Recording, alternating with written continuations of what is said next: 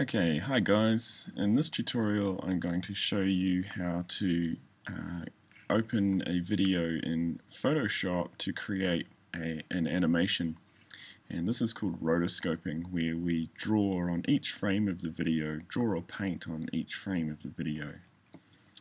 So I already have a uh, video prepared sitting here on my desktop. It's an MPEG movie. Um, silly but rather awesome example. I've chosen it mainly because it has lots of motion and we can trace over the frames and maybe create something interesting with it, but it's just an example video. So the first thing I'm going to do is open Photoshop.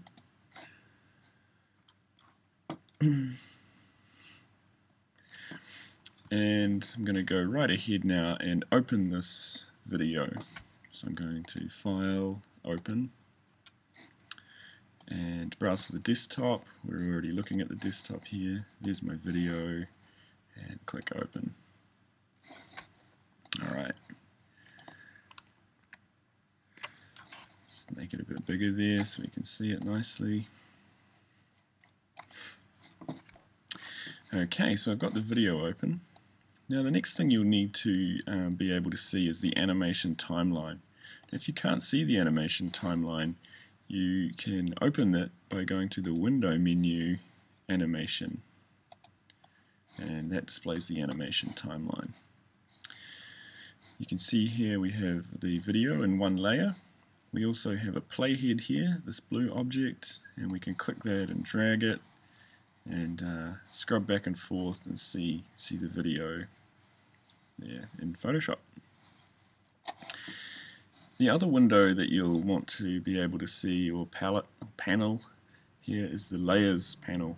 Again, if you can't see the layers panel, go to the window menu and choose layers.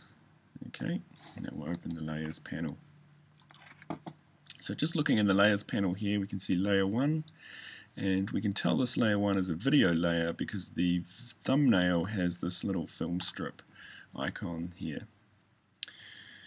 Now I could go ahead and start painting and drawing on this layer 1 here, but what I'm actually going to do is create a new video layer to draw on, and that'll make it uh, a little easier for myself to keep my drawing separate from the tracing video.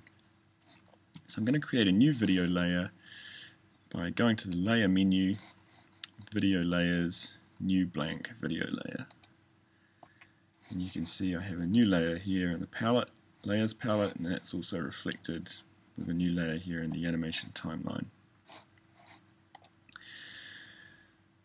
So what I'm going to do now is select layer 1, the layer with the video on it, and I'm going to lock that layer using the, this padlock symbol here in the layers palette. That just means I can't accidentally draw on that video layer. So now I reselect layer 2 and I'm just about ready to go. Now I can begin to draw anywhere I like here uh, and that's useful because I don't really want to have to start at the start and draw over all of this. The other thing to note here is in our animation timeline we've got some controls at the bottom of the screen.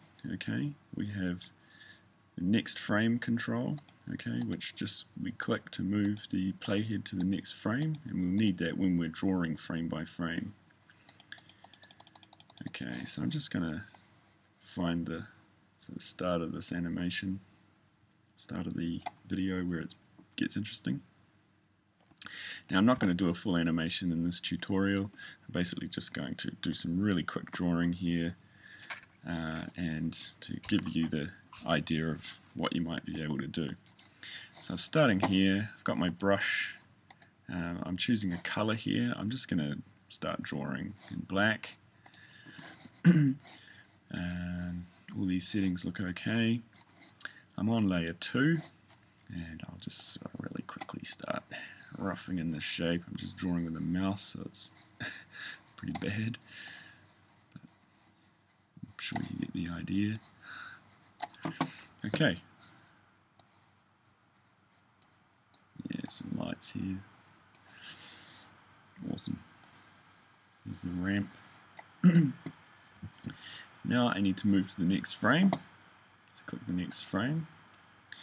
Now a useful thing that you can turn on here is this called onion skinning and it's toggled with this button here down on the animation timeline and if we click it it goes a bit darker but what you can see now is a faint outline of the lines that I drew on the frame before.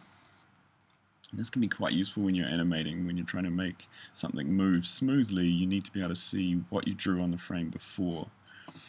So now I can just, again, begin and again, drawing very badly with the mouse, but you, again, you get the idea.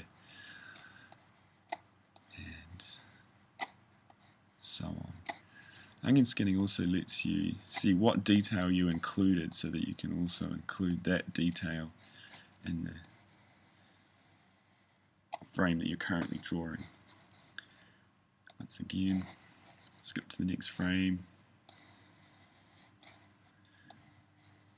and so on.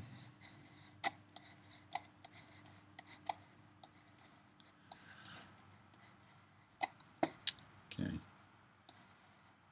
three very professional frames of animation. Now, let's just imagine I've done a lot uh, and I want to preview my animation. Well, I can again drag my playhead back and forth like this. I could also go across here to my layers palette and toggle the visibility of the bottom layer and that lets me see my frames that I've drawn. I can turn onion skinning off can see my animation beginning to form here. Toggle that back on, turn onion skinning back on, and continue. So that's the basic setup for rotoscoping in Photoshop, and really it's just down to your imagination and skill with the tools, but you'll find that even loose drawing can create quite interesting and fun animations. You can create more than one video layer, you can create non-video layers if you want to have static elements in the background. And really it's up to you how far you take it. So that's that, rotoscoping with video in Photoshop.